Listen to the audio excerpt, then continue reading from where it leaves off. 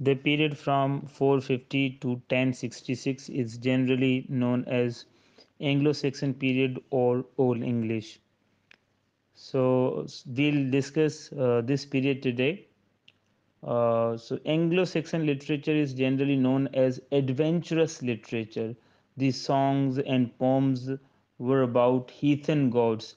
Though there was uh, nothing much about Christianity, Christ- Christianity was not there. Uh, it is generally known as pagan literature, or their wars or gods were being discussed in their poetic works uh, the, these were the heathen gods or different sects having their own different beliefs or uh, religious doctrines regarding religion. So uh, the poetry of this era or this period is full of wars, bravery, courage, uh, heroism, revenge, glorious deeds, so and so. So, in the story of uh, Beowulf or in the epic poem of Beowulf, you will uh, find all these characteristics of Anglo-Saxon period, such as uh, you know uh, the adventures of Beowulf, the hero of this work. It is called advent, you know, adventurous literature, or you know, gods, or like war, war between the the the villainous character Grendel and Beowulf is. Uh, at the next level or the peak. So there is nothing much about Christianity. There is nothing at all in this work. But uh, you know, different sects were there.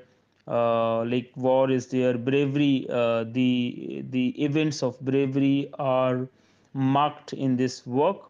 Uh, such as the uh, the bravery of Beowulf and his mother especially, uh, apart from that, the glorious death of Beowulf at the at the end or in the middle of the work that shows uh, that this uh, you know work Beowulf is generally known as uh, you know one of the masterpiece works of Anglo-Saxon period.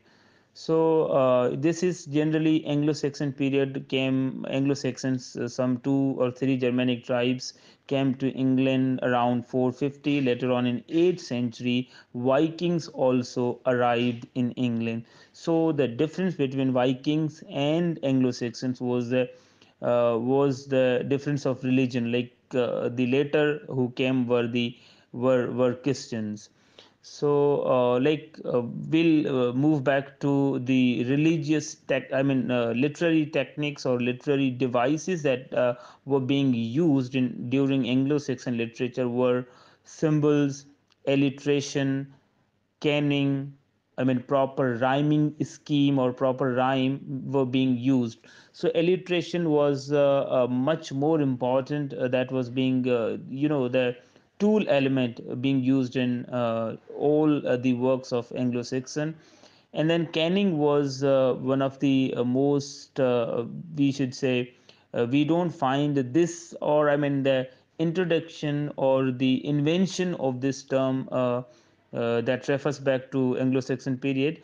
Um, kenning is what is a- actually a kind of uh, uh, what I should say is a compound word where uh, poets did not use sea, rather they would use whale road in order to in order to give poetic essence or poetic uh, you know fervor to their works, like to create rhyming scheme or to to to complete or accomplish the proper uh, you know meter or syllabification within the line of a poetry so uh, they used to create such kind of things. There were so many other examples such as that. They used to uh, you know convert one word into several other words so that they can complete the the the syllables within the lines.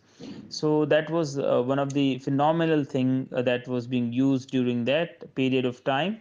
So some other works that if we discuss uh, from Anglo-Saxon period, they were, uh, I suppose, Widsith, Widsith, Deor's Complaint, The Wanderer, The Wife's Complaint. So in these works, basically, we can come to know that uh, uh, you know eh, on the one hand we can see that uh, the the poetry full of lament or mourning such as the elements of elegy elegiac tone was there in in especially Deor's complaint or wife's complaint so we'll find uh, some elegiac tone also but uh, on the very other dimension if we look into or if you if we look at the works such as Wanderer or Widsith, we'll see that they give us the concept of travelogue so uh, which uh, quite later uh, you know was mastered during 17th or 18th century by Daniel Defoe and so many other writers. So, uh, and uh, Widsith are two travelogues of two different characters.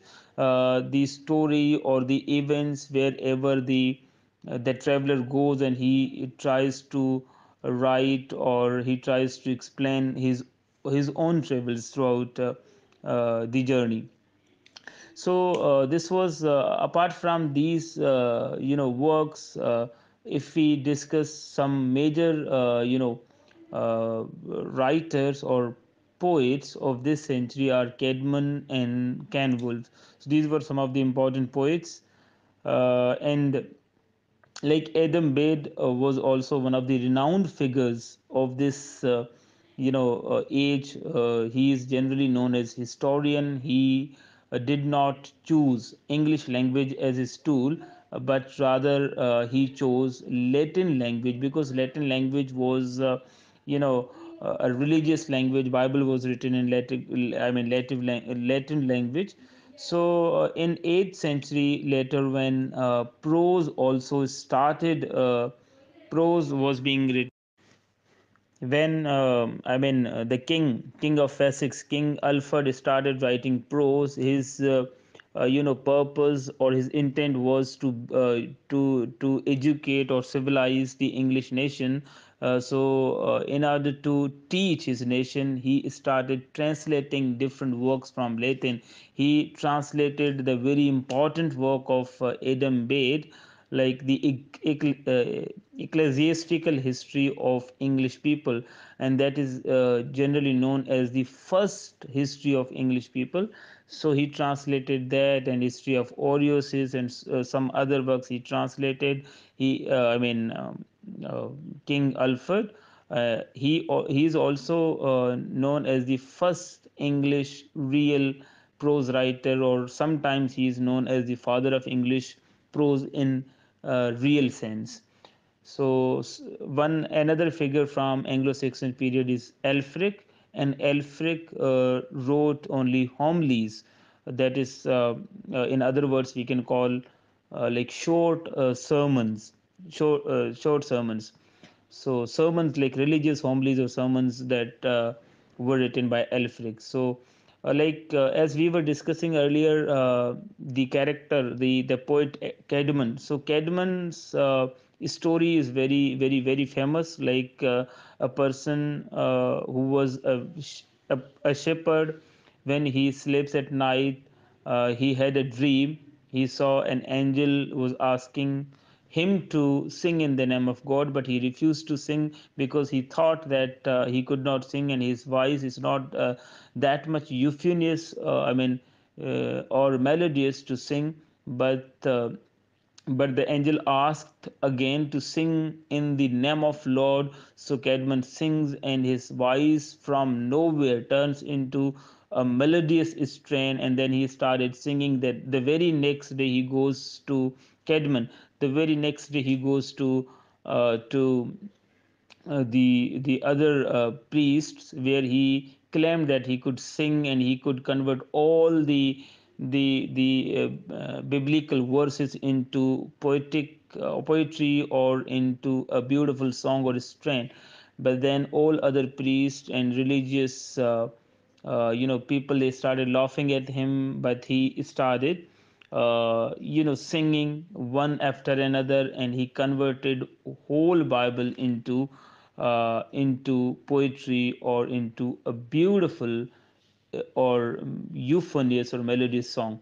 So that story is uh, uh, in the ecclesiastical history of english people originally written by adam bede that is generally known as adam bede the venerable and later on it was translated by uh, you know uh, King Alfred.